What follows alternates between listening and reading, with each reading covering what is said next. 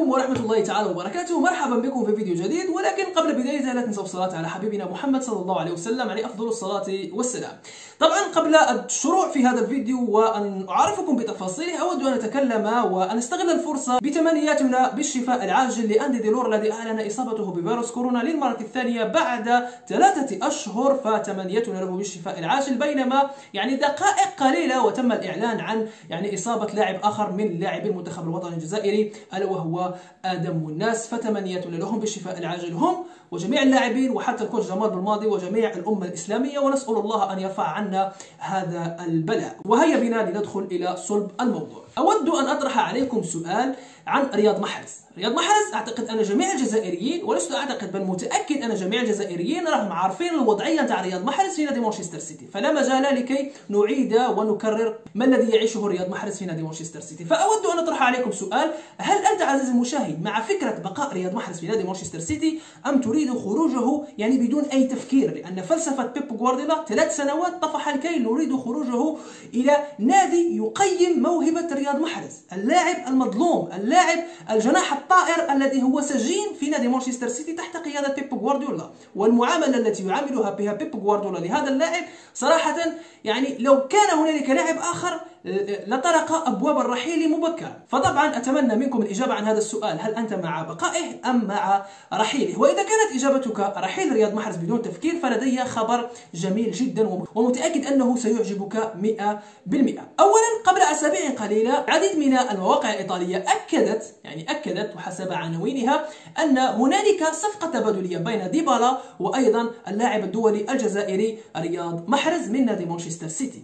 فطبعا ديبالا هو محل بيع في هذا الفريق. أيضا إدارة نادي الإيطالي جوفنتوس لا تريد تجديد عقده فممكن أنهم سيبيعوه أو سيعملوا صفقة تبادلية. فلهذا المشاهدين في ذلك الحين عندما انتشر ذلك الخبر لم يكن يعني رسمي كانت هنالك فقط أخبار متداولة أخبار لا نأخذها بمحمل الجد. ولكن أعزائي المشاهدين حاليا وفي يومنا هذا كان هنالك المدير السابق لنادي جوفنتوس الإيطالي قد صرح بتصريحات تؤكد اهتمام الكبير لنادي جوفنتوس الإيطالي بالنجم الدولي الجزائري رياض محرز طبعا مصدر هذا الخبر هو لوتشيانو موجي. لوتشيانو موجي أعزائي المشاهدين صرح قائلا هنالك اهتمام من إدارة جوفنتوس لاستقدام رياض محرز وربما ستقوم السيدة العجوز أي نادي جوفنتوس بربط اتصالات جدية. يعني إذا مشاهدين ذلك الخبر ليس بخاطئ ولكن هنالك اهتمام من إدارة نادي جوفنتوس الإيطالي. فالحمد لله أعزائي المشاهدين كما قلت لكم في العديد من الفيديوهات السابقة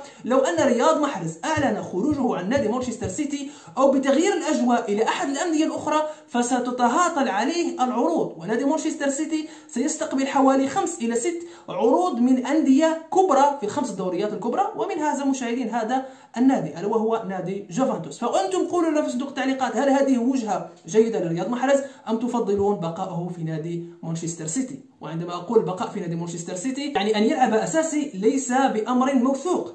وطبعا إذا المشاهدين صرح قائلا محرز لاعب مهم ومهم جدا. يعني ركز على هذا الكلام لاعب مهم ومهم جدا. يعرفون قيمة رياض محرز. فقط بيب غوارديولا الذي يعرف قيمة رياض محرز وطبعا يستنكر ذلك. بينما صرح قائلا إنه يسجل ويتألق لكن المدرب يضعه في دكة الاحتياط. صراحة أعزائي المشاهدين الكل راه عارف بلي انه رياض محرز لاعب بهاري جناح طائر يقدم لك ارقى المستويات ولكن بيب غوارديولا وفلسفته يعني تقيده مدربه يضغط عليه كثيرا. فطبعا أعزائي المشاهدين نادي جوفنتوس الإيطالي يريد تحرير هذا اللاعب من جحيم وأيضا سجن بيب غوارديولا لأنه راه عارف قيمة هذا اللاعب ويريد أن يعني يحضره إلى نادي جوفنتوس. وبطبيعة الحال إذا أحضره إلى نادي جوفنتوس راح يقدم لك ارقى المستويات وبطبيعة الحال راح يعطيه ضمانات كبيرة. فأعزائي المشاهدين هذا لا أقول لكم أن هنالك عرض رسمي من إدارة جوفنتوس إلى هذا اللاعب. حاليا هنالك اهتمام حتى موجو صرح أن هنالك اهتمام فقط. يعني مهتمين جدا بهذا اللاعب. فنتمنوا أن راح تتطور العلاقة وراح يبعثوا له يعني عرض رسمي من هذا الفريق. بينما اعزائي المشاهدين السؤال الثاني هل بيب غوارديولا يعني مع فكرة بقاء رياض محرز أم مع خروجه؟ يعني عندما أطرح هذا السؤال أعزائي المشاهدين راجل بيب غوارديولا يعني ماذا يفكر؟ هل يفكر ببقاء رياض محرز أم بيعه؟ فإن بيب غوارديولا يعني يحب فكرة بقاء رياض محرز في نادي مانشستر سيتي. بيب غوارديولا من سابع المستحيلات أن يجد لاعب بمهارة رياض محرز يرضى الجلوس في كرسي البدلاء. يعني من سابع المستحيلات. وهذا التصريح وهذا التعبير اللي قلته حاليا أعزائي المشاهدين قالها يعني آه، بعض المحللين في الدوري الإنجليزي الممتاز. من المستحيل أن بيب جوارديولا يجد لاعب مثل رياض محرز في في هذا التألق وبهذه المهارات يرضى أن يبقى في كرسي البدلاء. وذلك حسب تصرفات بيب جوارديولا. يعني لو كان كان لاعب آخر لطرق أبواب الرحيل مبكرا. فبيب جوارديولا متأكد 100% أنه يعني أحب فكرة بقاء رياض محرز في نادي مانشستر سيتي ويعني ممكن يضغط عليه باه يبقى في نادي مانشستر سيتي إلى نقطة أخرى. خاصة أن بيب جوارديولا عندما يحتاج رياض محرز في المهمات الصعبة رياض محرز يكون حاضر ويقدم لك مستويات وضمانات أكبر. ولكن أعزائي المشاهدين رغم أنه بيب جوارديولا يريد بقاء رياض محرز في نادي مانشستر سيتي ففي نفس الوقت يعني لو تشاهدون المباريات الماضية آه، على سبيل المثال مباراة بيرلي بيب جوارديولا رياض محرز سجل له هاتريك ويعني ما كانش عنده حتى ردة فعل جميلة ما كانش عنده تصريح جميل لهذا اللاعب. يعني لو كان آه، تفنن بيب جوارديولا في المؤتمر الصحفي ببعض الكلمات أنه رياض محرز عاد من جديد رياض محرز يعني قدم لي مباراة كبيرة أنا أفتخر بهذا اللاعب. هذه الكلمات البسيطة يعني يعني تحفز اللاعب أكثر فأكثر ويزيد يقدم لك أكثر. يعني يعني كلما تشيد باللاعب نتاعك راح يقدم لك ضمانات أكبر. يعني, فقط هذه كلمات تحفيزية. ولكن بيبو جوارديولا في تلك المباراة أعزائي المشاهدين يعني ما فرحش. لم تكن لديه أي فرحة لم تكن لديه أي ردة فعل جميلة. ولكن في المباراة التي تليها أمام بورتو رياض محرز شفناه في كرسي البدلاء هو ومعظم اللاعبين. فأعزائي المشاهدين في تلك اللقطة جابرييل جيسوس سجل هدف. بيبو جوارديولا طار بالفرحه بينما عندما آه، لم لم يحتسبوه بتقنية الفار فبيبو جوارديولا غضب غضب شديد ومن في نهاية المباراة عندما سألوه عن اللاعبين يعني طار فرحة في الفودن يعني لماذا في الفودين يعني تفرح به وتفرح بهدف جابرييل جيسوس وبهاتريك رياض محرز؟ يعني ما تكونش عندك ردة فعل جيدة. يعني صراحة بيبو جوارديولا يريد بقاء رياض محرز في نادي مانشستر سيتي؟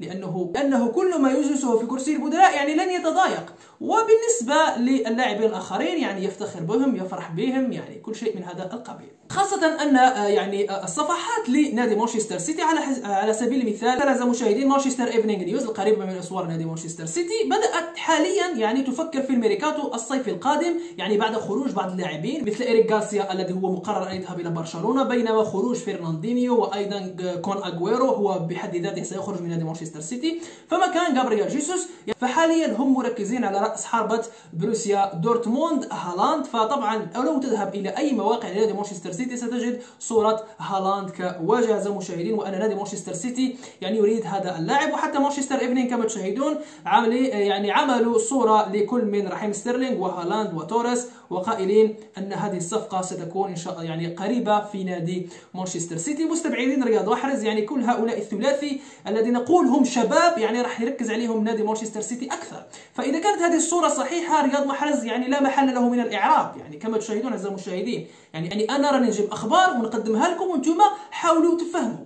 بينما في نفس السياق أعزائي المشاهدين نصل إلى يعني السؤال الأخير لكي نختتم هذه الحلقة.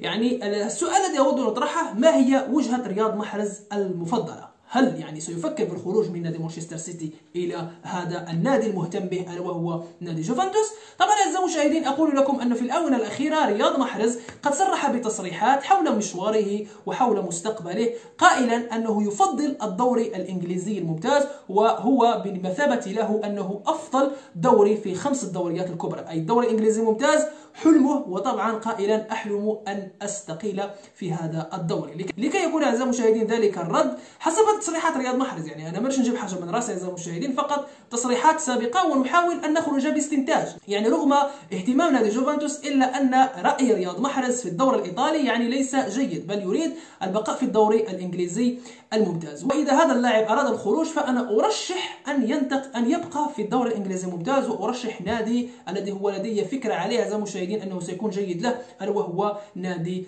توتنهام. ولكن اعزائي المشاهدين ممكن ممكن أنه هذا اللاعب راح ينتقل.